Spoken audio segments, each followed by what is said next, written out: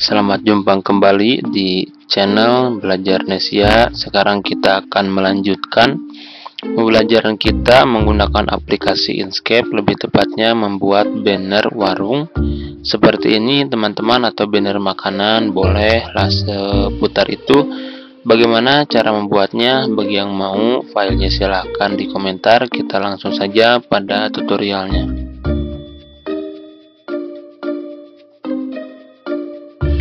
Oke teman-teman langkah pertama kita buat dulu kampas dengan dimensi 1 berbanding 3 caranya kita gunakan file new. Oh sorry ini sudah dibuat ya. Harusnya kita buat file lalu dokumen properties ya. Di sini kampasnya kita menggunakan 300 mm dengan tinggi 100 mm atau 10 cm ke 30 cm dengan format landscape nanti teman-teman untuk media cetak yang lebih besar silahkan bisa digunakan dengan satuan eh, cm seperti 300 cm ke 100 berarti 3 meter ke 1 meter karena yang sini hanya prototip ya untuk di print nanti jadi silahkan di 300 mili ke 100 mm oke kalau sudah tinggal kita oke saja teman-teman. Sekarang kita buat dulu rectangle tool seperti ini. Setelah itu silahkan untuk ukurannya samakan yang tadi yaitu 300 ke 100 ya. Kita simpan di tengah menggunakan align di sini objek ya. Ada align ya di bawah di sini. Kita pilih relatif to kan to page ya maksud saya. Oke kalau sudah pilih dulu dan kita klik kedua-duanya seperti ini. Oke teman-teman sebelumnya lupa ya untuk menunjukkan. Di sini di bagian atas saya memilih e, memiliki shortcut yang akan gunakan. Jadi teman-teman bisa melihat apa saja yang saya gunakan untuk mendesain banner ini. Oke kita lanjutkan. Setelah itu kita masukkan bahan-bahannya. Teman-teman di sini kita masukkan background tembok ya. Eh, maksud saya background kayu ya maaf. Maksud saya background kayu tinggal kita drag atau kita tarik saja. Seperti ini tahan ya pada aplikasinya Oke. Kalau tidak mau kita bisa seperti ini kita turunkan. Oke. Setelah itu silahkan ukurannya disamakan. Kita kunci dulu di sini untuk one lock ya.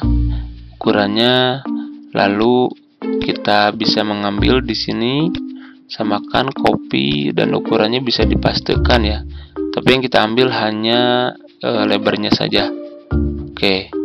Itu satu setelah itu teman-teman silahkan diturunkan ke bawah seperti ini. Kita simpan dulu di tengah. Kita ambil detail dari e, bentuk kayu ini atau bentuk balok kayu ini. Oke kita seleksi keduanya dan nanti kita set clip ya. Tapi sebelum di set clip e, tulis nama kotak yang ini kita duplikat dulu ya dengan menggunakan Ctrl D ya. Yang ini seleksi lalu diklik kanan dan set clip. Oke satu kita sudah punya. Dan selanjutnya yang ini kita duplikat lagi teman-teman. Jaga-jaga kalau-kalau nanti dibutuhkan ya. Oke kita isi dulu filenya dengan warna hitam. Dan outline-nya klik kanan lalu set stroke ya atau outline setelah itu teman-teman kita gunakan gradasi menggunakan mesh ya. Kita pilih dan di sini kita bisa menggunakan e, beberapa pesettingan gradasi dari kotak-kotak. Di sini saya mengisi dua dan kolomnya juga dua ya. Tinggal kita tarik saja teman-teman seperti ini. Silahkan dari setiap titik semuanya diganti menggunakan warna hitam atau kita bisa mendrag seperti ini ya. Lalu pilih warna hitam. Oke semuanya sudah menjadi warna hitam. Dan sekarang di bagian tengah di sini ada titiknya ya teman-teman. Bisa dikurangi untuk transparannya di menu fill and stroke. Kalau tidak ada bisa masuk di objek lalu ada fill and stroke dan eh, opposite-nya kita kurangi. Oke seperti ini bisa dilihat. Tengahnya sudah mulai kelihatan. Dan di bagian-bagian sudut-sudutnya juga teman-teman bisa dikurangi. Tetapi jangan terlalu eh, kontras ya untuk menguranginya. Seperti ini. Oke. Jadi eh, kita akan tetap eh, memunculkan dari detail kayunya. Jangan terlalu gelap ya. Oke kita coba lagi yang ini. Lalu posisinya kita kurangi ya seperti itu. Kira-kira kurang lebih teman-teman bisa dilakukan. Setelah itu kita tekan C ya. C itu untuk center dan E itu untuk uh, center vertikal dan center horizontalnya atau sebaliknya. Di sini teman-teman kita uh, untuk shortcutnya nanti bisa digunakan di edit preferences atau ditekan tombol ini.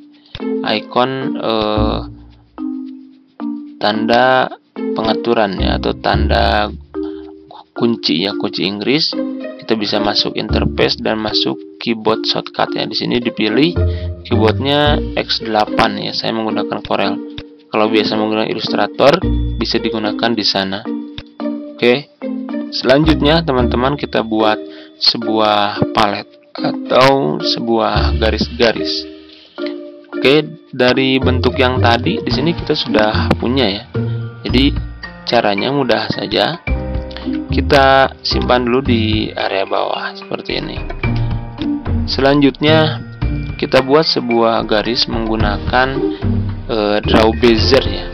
Diklik lalu di sini dipilih untuk jenis garisnya saya menggunakan straight atau lurus ya.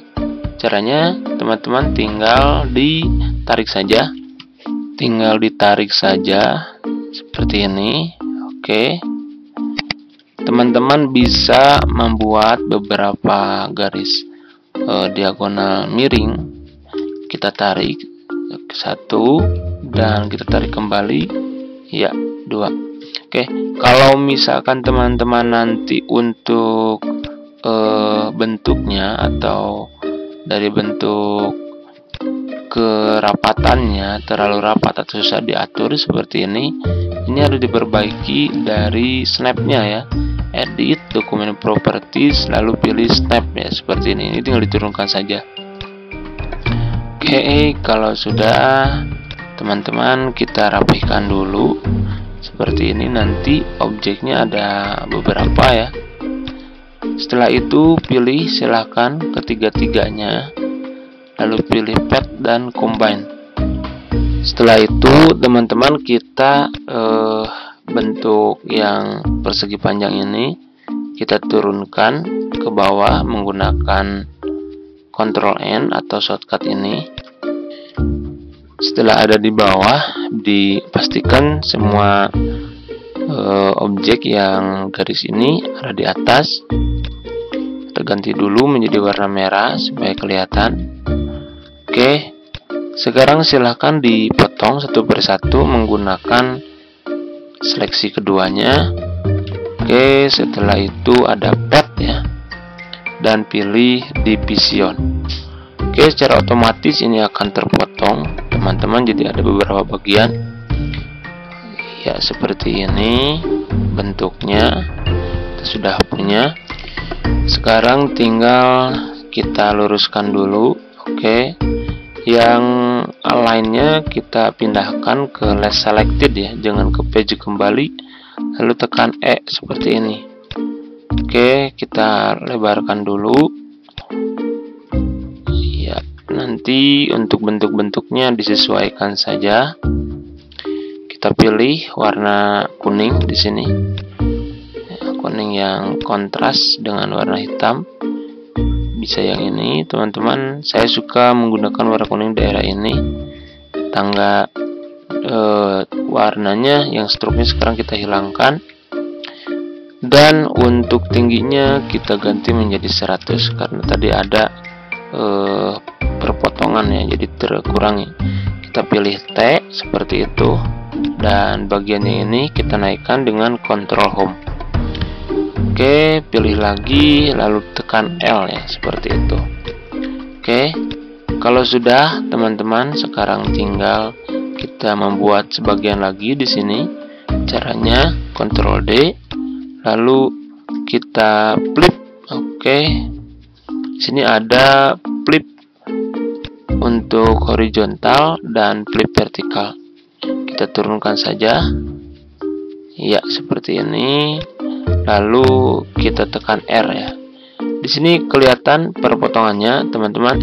Kita rapihkan dulu ya. Jadi bentuknya kira-kira seperti ini. Oke. Dan yang ini kita ungroup dulu dengan Ctrl U ya. Dua bentuk yang dari bawah supaya terlihat menyatu kita drag. Iya seperti ini kurang lebih. Oke. Iya ini sudah terlihat sudah menyatu teman-teman. Dan selanjutnya yang ini kita potong kembali ya. Caranya kita combine pad combine lalu kita buat kotak ya di sini. Kita buat kotak. Tadi ukurannya seperti juga sudah cukup. Kita pilih align lalu pilih page ya. Kita pilih rata kanan dan rata bawah. Setelah itu teman-teman kita hilangkan untuk outline map outline kita adakan dan untuk fillnya kita hilangkan. Opposite-nya kita paskan dulu semuanya. Dan selanjutnya silahkan dipilih dari yang tadi. Dan ini kita pilih saja semuanya. Kita break dulu ya. Kita break dulu lalu kita combine ulang supaya tiga-tiganya masuk ya. Oke setelah di combine pilih keduanya. Lalu ada intersection. Oke. Yang ini belum Oh teman-teman maksud saya bukan intersection ya Tapi division untuk memotong semuanya. Tinggal kita buang saja Tekan alt ya jadi berwarna merah seperti ini. Daerah luar yang tidak akan dipakai Kita buang saja. Oke delete Oke yang ini belum terpotong Tinggal kita buat lagi seperti yang tadi ya yaitu menggunakan line lalu pilih page dan pilih eh, rata tengah ya. Yang ini tadi sudah dibuang juga sama. Pilih keduanya lalu pilih sekarang bisa dipilih intersection ya kalau tadi dipilihnya karena ada buru banyak ya kita grup dulu pilih sekali lagi rata tengah dan rata bawah. Oke untuk warnanya kita bisa sesuaikan di fill ya. Di sini ada fill. Bisa dipilih menggunakan mode misalkan CMYK atau mode HSL hue saturation ya. Bisa digunakan silahkan kalau menggunakan media cetak biasanya menggunakan CMYK oke Selanjutnya kita masukkan untuk gambar-gambarnya. Di sini ada dua gambar dan juga barcode mungkin ya. Kita turunkan dulu. Untuk medianya kita bisa simpan untuk area lingkaran di sini di sebelah kanan atau untuk area e, bentuk lainnya kita bisa di sebelah kiri ya atau sebaliknya Oke. Kalau sudah teman-teman, kita buat e, bayangan. Caranya dibuat lingkaran dulu. Oke, dan lalu dibuat hitam, hilangkan outline-nya dan blurnya kita tambahkan. Iya, seperti ini. Lalu kita turunkan menggunakan control back down ya. Oke. Satu kita sudah punya terlalu besar kita kecilkan dan yang ini kita buat dulu bentuk menyerupai e, bentuk ini menggunakan draw bezier ya Iya, seperti ini. Draw bezier-nya kita pilih di sini edited by node. Tidak usah terlalu atau sama identik tapi menyerupai bentuknya saja lah.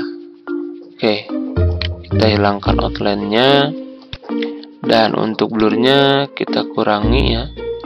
Kita turunkan dengan kontrol backdown oke seperti itu. Kalau sudah teman-teman di sini eh, ada kelebihan ya bentuknya ya. Tadi dari outline. Yang ini kita grup dulu semuanya seperti ini. Oke sorry kita grup dulu semuanya. Ya ini kita grup. Dan yang bagian ini kita grup juga. Dipisahkan kita tambahkan lagi 300 ke 100 ya. Oke. Sudah sesuaikan pas. Ini kita turunkan lagi. Ya. Di page ya berarti kita menggunakan page rata tengah. Oke. Rata tengah vertikal dan rata tengah horizontal. Karena di sini ada bayangan kita ungroup. Oke setelah di ungroup yang ini kita pisahkan dulu. Oke dan yang ini kita berikan rata kiri dan rata atas. Oke yang ini juga sama kalau yang ini berarti rata kanan ya. Dan rata bawah. Rata bawah mengacu ke page ya. Ya ini mengacu ke page. Ini ada bayangan teman-teman kita ungroup dulu. Kita pilih saja bagian yang ini saja rata bawah dan rata kanan. Oke sudah? Rapi sekarang tinggal kita masukkan untuk background eh, maaf maksud saya barcode nya di sini kita masukkan dulu oke sebelah sini dan selanjutnya kita uh, masukkan deskripsinya ya. Untuk deskripsinya di sini saya sudah siapkan beberapa tulisan tinggal di copy paste saja. Iya, saya biasa menggunakan font Anton namanya ya. Supaya solid dan tebal seperti ini. Kita curi warnanya di sini menggunakan uh, apa ini? Pick color ya atau di Corel itu namanya adalah eyedropper ya sama dengan di Illustrator kita eh, kurangi spasi bagian bawahnya lalu kita perbesar kita duplikat. Seperti ini. Lalu kita ganti menjadi warna putih. Kita turunkan menggunakan background oke. Seperti ini diseleksi dulu semuanya Ctrl G dan kita miringkan sedikit. Oke. Sudah teman-teman?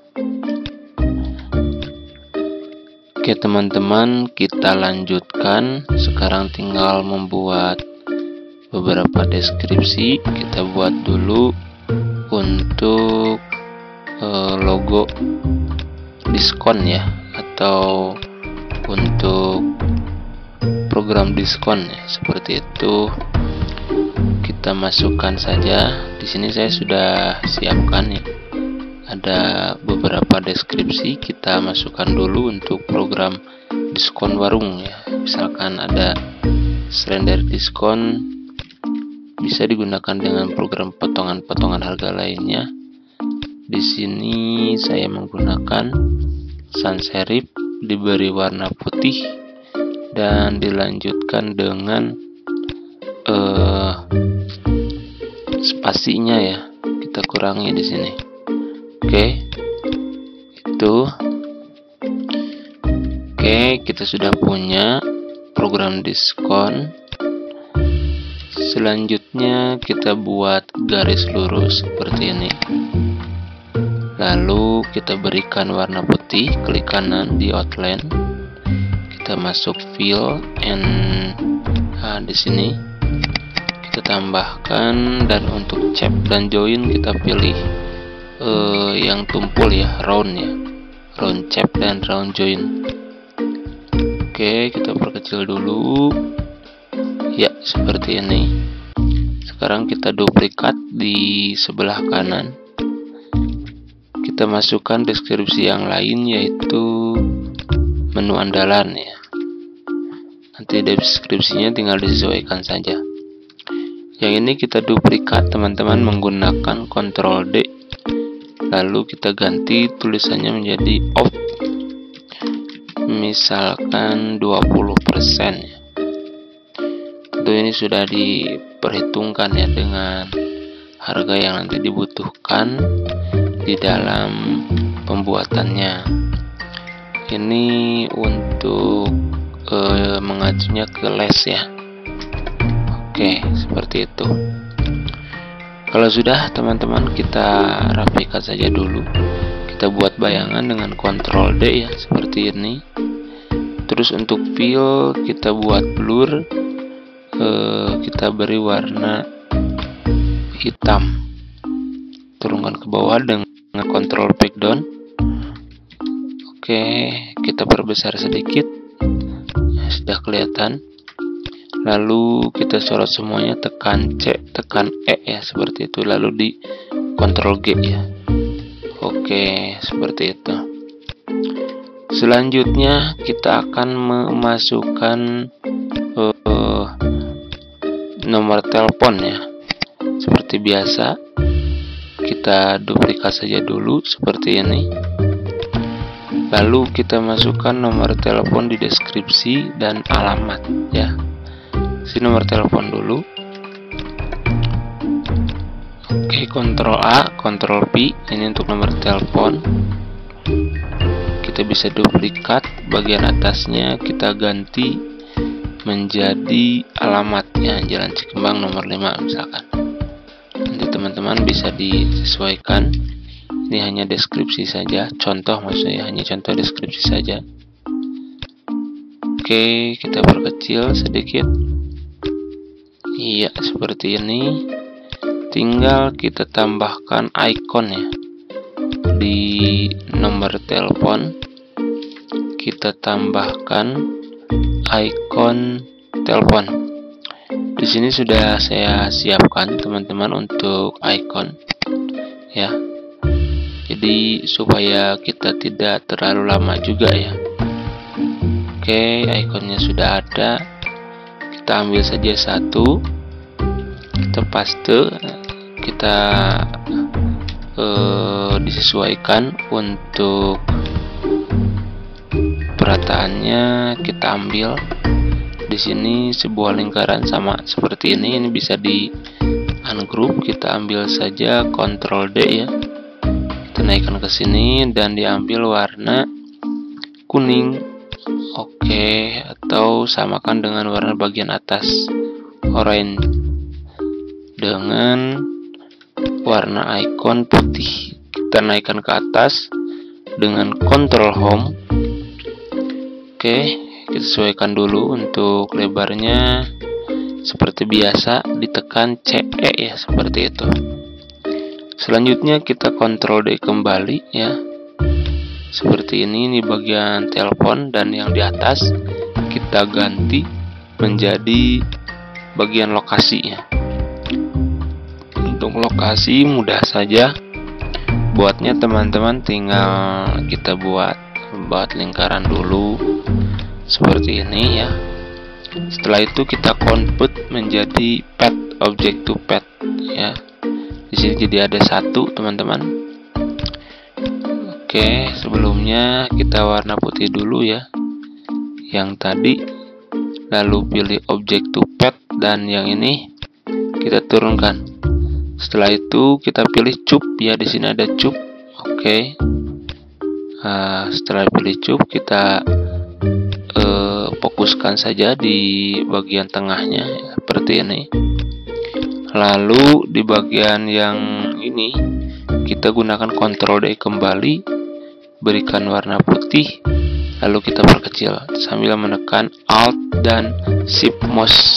Iya seperti itu kurang lebih teman-teman oke sepertinya eh, ini tutorialnya bertele-tele tapi memang supaya lebih jelas teman-teman mohon maaf kalau tutorialnya agak lama juga. Oke. Kalau sudah sekarang tinggal kita memasukkan uh, di sini ya map ya. Kita kasih tulisan untuk bagian ini yaitu map barangkali ada yang mau scan untuk lokasinya. Teman-teman bisa di sini. Oke supaya lebih unik juga ya bagian uh, warna ininya bagian warna barcode-nya warna kotak besarnya itu bisa kita isi ya. Ctrl D iya seperti ini ini variasi saja. Tinggal disimpan saja. Oke kita duplikat kembali. Teman-teman kita perbesar. Kita turunkan dengan Ctrl Down ya supaya ada di bawah. Oke seperti ini. Kita grup dulu. Ctrl G dan ini kita grup kembali ya. Kita turunkan. Oke satu ya bagian atasnya kita berikan tulisan scan me misalkan atau tulisan apa pun itulah yang menunjukkan bahwa ini adalah barcode ya kurang lebih seperti itu kenaikan misalnya tulisannya scan me nah. Yaitu scan saya itu kan. Oke.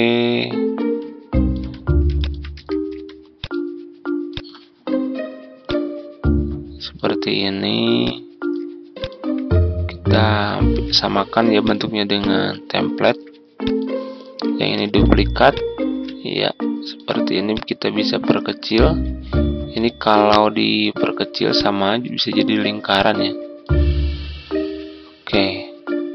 Seperti ini kurang lebih teman-teman.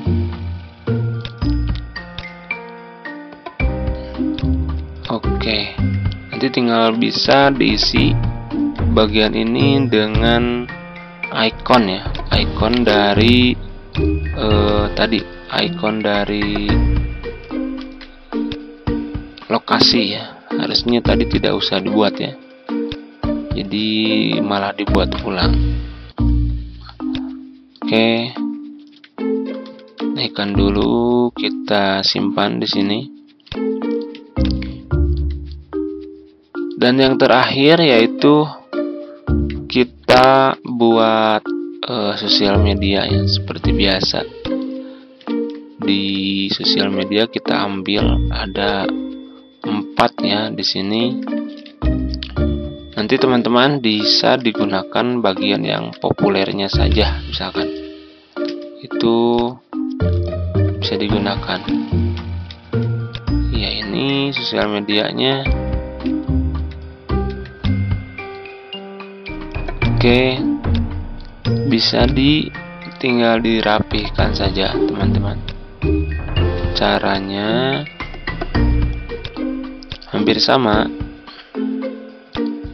Tinggal kita ambil yang ini, tulisan untuk sosial medianya yaitu belajar Nesia ya. Ini adalah website yang sedang dikembangkan juga oleh teman-teman kreator yang websitenya tentang pembelajaran ya atau artikel-artikel secara umum baik teknologi ataupun pendidikan ya. Oke, kita perkecil dulu. Seperti ini. Setelah diperkecil, kita simpan untuk ikonnya ya di sini. Maaf, maksud saya untuk namanya oke kita dilanjutkan dengan menduplikat ini juga sama kita lanjutkan dengan menduplikat. Selanjutnya ini juga sama. Kita lanjutkan dengan menduplikat. Oke. Kalau sudah teman-teman kita rapihkan dulu dengan menekan tombol E ya seperti ini. Kita perkecil sedikit. Oke lalu kita pilih align dan dipilih ada distribusi. Oke. Distribusi. Kita kasih jarak. Caranya di grup dulu ya. Untuk icon dan tulisannya seperti ini. Lalu kita drag dulu ke bawah. Perkecil maksud saya. Kita simpan jarak maksimalnya di sini seleksi semuanya dan ditekan kembali distribusi. Oke inilah teman-teman banner makanan dan banner template makanan dari belajar Nesia. Mudah-mudahan bermanfaat. Silahkan bagi yang mau templatenya boleh di komentar. Nanti admin akan di share untuk linknya. Terima kasih. Salam belajar Nesia channel